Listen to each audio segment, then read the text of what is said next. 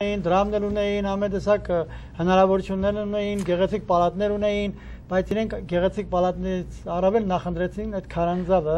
որտեղ կամ Գառնիի տաճարի այդ մասում տեղերը, որտեղ որ ոչ մի հարմարություն չկար։ Ոչ Բացի դրանից Խոսրևի դուխտի մասին հդվկայություն ունենք, որ իր ամբողջ կյանքը բարեգործությամբ զբաղվեց։ Այո։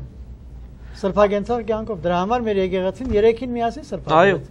Տրթատ, Աշխեն եւ Խոսորի դուխտ եւ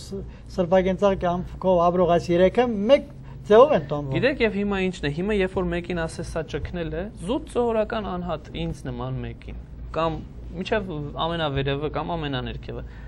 Պիտի նախ հնչի որ տարօրինակ մարդ է ուրեմն եղել այս մարդը, որ ասենք ճկնագեցության է գնում այս ամբողջը թողած կամ մի բան սխալ եղել է մարդու մեջ կամ հիվանդ է կամ հիվանդ է եղել եւ եւ սա ինչն է նորից վերադառնում ենք դրան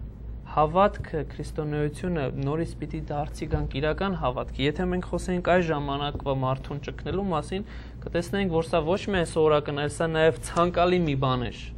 որ մարդիկ հա- ինչու որտեվ իրանք իրենց եսն էին մաքրում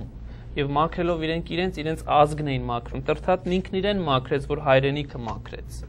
ախտից, հեթանոսական ախտից, որովհետև խափեություն էր ամենևին որովհետև արձանների կուրքերի հանդեպ հաց էին տալիս, որ կուրքը պիտի ուտի, վերջո այդ կուրքը ուտելիքը քրմերն էին ուտում, ասում էին կուրքը կերավ, արձանը քարը կերավ։ Այսպեսի մի վիճակ էր, խափեություն էր տիրում, որը որ տրթատը ինքն իրեն մաքրելով Հայաստանը մաքրեց։ Եվ այսօր կարծում եմ պիտի նման օրինակներին հետևենք։ Այսինքն չեմ ուզում համեմատական անցկացնել, բայց 1700 առաջվա վիճակը կարծես թե հիմա 21-րդ դարում այս պահին որոշ նմանություններ կան, որ դարձի գալու պահն է։ Այսինքն յուրաքանչյուր մարդ ինքը նախ իր մեջ պետք է դարձի գա, հետո ընդհանուր իմաստով, ազգային իմաստով, ժողովրդի իմաստով, երկրի իմաստով, համամարտկային իմաստով, չես կարող մեկ-մեկ առանձնացնել, այո, ընտանիք կազմված է ընտանիքի անդամներից։ Ընտանիք ասելով ինչ ենք հասկանում 4-5 հոգի, 10 հոգի,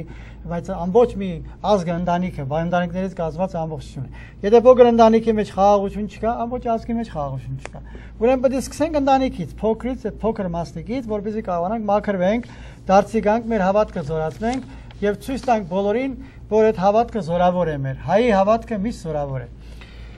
Հայք շատ կարող ենք խոսել, բայց երևի աղոթքով վերջացնենք այսօր մեր աղոթությունը։ Հանուն Հոր եւ Որդվո եւ Ոգու Սրբո ամեն։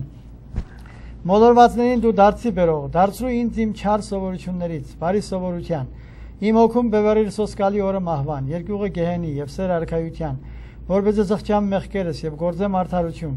եւ ողորմիր քո հարասներին եւ ինձ բազմամեղիս։ Ամեն։ Ամեն։